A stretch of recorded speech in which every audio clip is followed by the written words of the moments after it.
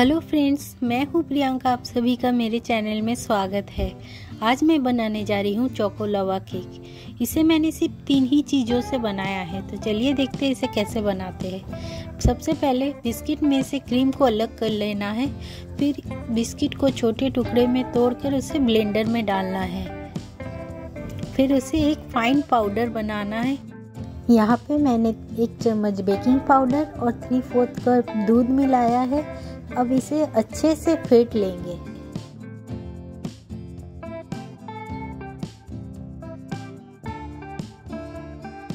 विस्क की हेल्प से इसे अच्छे से फेंट लेंगे। अगर आपके पास विस्क नहीं है तो आप फॉक से भी फेंट सकते हैं। यहाँ पे मैंने इडली स्टैंड लिया है, उसे अच्छे से ऑयल ग्रीस कर रही हूँ। साथ ही साथ मैंने यहाँ पे सिलिकॉन मोल्ड लिया है। इसमें भी अंदर से तेल लगा दूँगी। इसमें अगर हम बनाते हैं तो ये बहुत ही इजी होता है। इसे इजीली निकल जाता है। अगर आपके पास ये नहीं है तो कोई बात नहीं, आप ऐसे कोई बोल लेके उसके अंदर में अच्छे से तेल लगा लीजिएगा। उसमें भी आप बना सकते हो।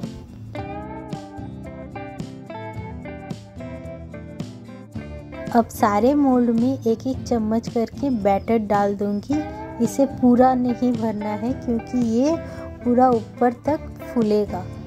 अब इसमें मैंने एक चॉकलेट का स्लाइस डाला है इसके बीचों बीच इसके ऊपर से मैंने थोड़ा और बैटर डाल दिया और इसे एक बार टैप कर लूँगी। याद रखिए, इसे सिर्फ़ हाफ़ ही भरना है, पूरा नहीं।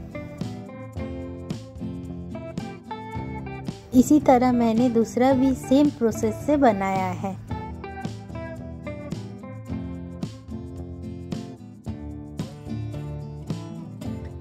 यहाँ पे मैंने बचे हुए क्रीम को ऊपर से डाल दिया है और उसके ऊपर बैटर से कवर कर दूँगी।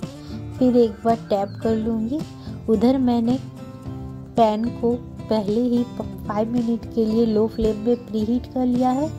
फिर इसके ऊपर ये बैटर वाला प्लेट रखूँगी और 30 मिनट के लिए लो फ्लेम में बना लूँगी। इसी तरह मैंने दूसरा वाला भी बनाया है। आप देख सकते हैं, ये पूरा ऊपर तक फूल चुका है।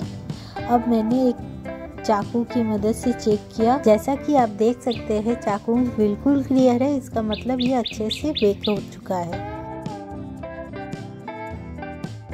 तो चलिए अब इसे मोल्ड से निकाल के प्लेटिंग करते हैं। बस हमारा चोको लावा केक तैयार है।